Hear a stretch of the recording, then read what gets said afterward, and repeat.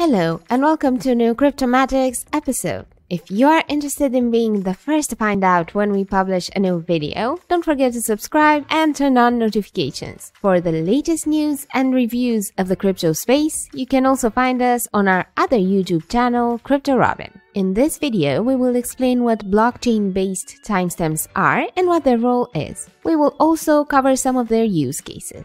What are blockchain-based timestamps? A timestamp is a complete verifiable piece of data that indicates a certain piece of data existed at a particular time. It is a way of proving that an event occurred at a certain moment.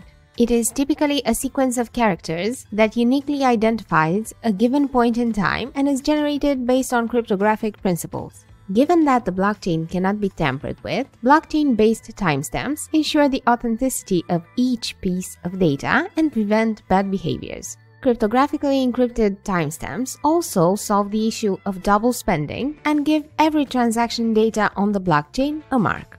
Each timestamp thus has its own value, and that's not only because it indicates the time of an event.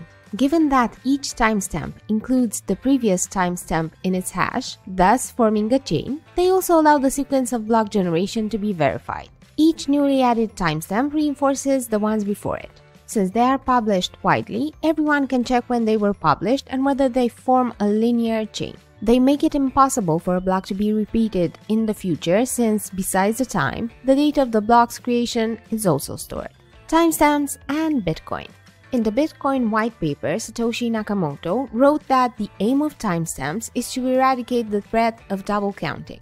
Without them, it would be difficult for new nodes to prove how long mining a block took and the difficulty or lack of it. To make sure that difficulty is calculated correctly, blockchain timestamps are used. So, whenever a Bitcoin block is generated, there are two timestamps. One of them is in the block header, which is placed by the miner, and the other one is the actual time when the block is created. Even if, theoretically, the two times should be almost the same, there is the risk of some miners engaging in bad behaviors and thus lying about times. To prevent miners from tampering with timestamps, Bitcoin uses different mechanisms, such as the median past time rule.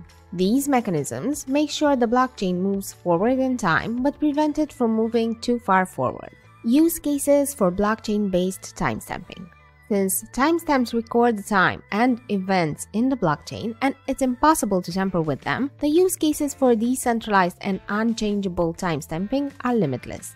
Decentralized timestamping had its first real use case with the appearance of cryptocurrencies, to be specific, crypto payments. Even if one of its strongest use cases is in the financial sector, blockchain-based timestamping has already been adopted across multiple industries and sectors. It can also be used for governance, supply chains, voting, content timestamping, protection of intellectual property rights, and so on. Conclusion Blockchains can be viewed as databases of verified public timestamps. Blockchain timestamps indicate when a certain event happened and contribute to the overall health of the system since each of them includes the previous timestamp in its hash. Their use cases come in plenty as they can be employed and are needed wherever recording the time of an event holds great importance. I hope you enjoyed today's video and if you have other questions about timestamps, don't hesitate to tell us in the comment section.